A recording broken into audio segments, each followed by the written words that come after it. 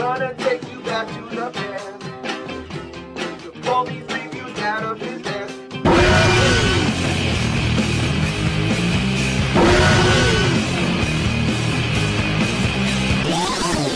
Easy critic. I have a small Penis. Wait, that's terrible. It